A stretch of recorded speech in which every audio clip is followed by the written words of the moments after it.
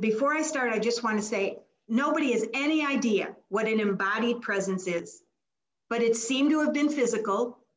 And, and we have to be willing to stand before the mystery and realize it's a mystery, that maybe there is an embodied existence that is not the same as our embodied existence.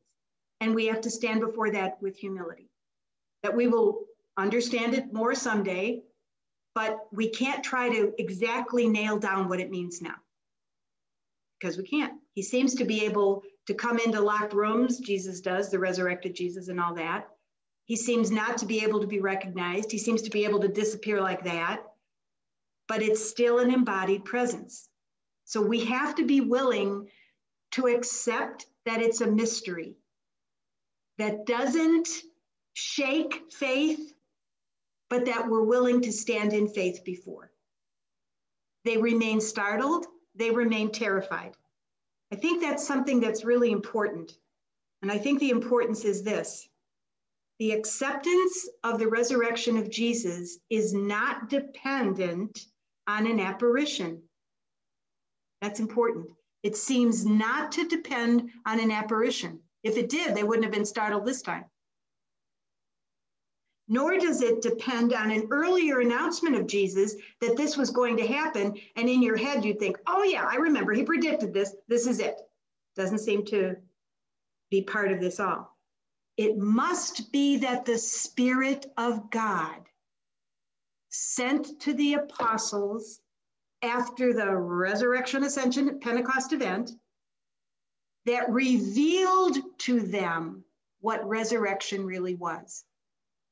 I find that, I take that as a sign of hope for those of us that live two millennia after this enormous watershed event. And just one takeaway for this that I think is significant. Um, the secret of Jesus' life is a secret that has been talked about coming at it from different angles. Certainly, vulnerability is part of it. Self sacrifice is part of it. Thinking of other people before yourself is part of it. Refusing to give back in kind when you are hurt is part of it. Trusting not just God, but goodness is part of it. And forgiveness, look at this right here, it, that is repeated over and over. Forgiveness is definitely part of it. Everything I just said are, are keys to the wisdom that Jesus revealed. And you are either in the group or out of the group, depending on whether or not you grasp that. Now, why is Peter a good person to lead the first group? Because he himself experienced repentance, forgiveness, and a new life that forgiveness brought to him.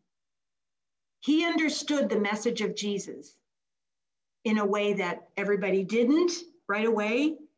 He, so he was pitched perfectly to lead this group that would move forward preaching this message, this secret of Jesus' life, death, resurrection, ascension, and, and Pentecost event, sending of the Spirit.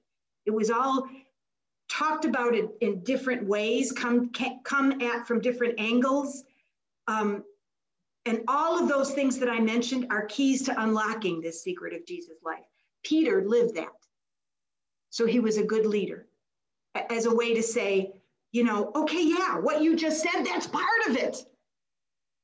You're not perfect. You made a terrible choice. Are, do you see the damage done? Are you sorry? How can you fix it? Come and be part of this movement that bases relationships not on dominance or power, but on forgiveness and mercy and love. In your experience of life out of those things, help us to make this happen on a bigger scale.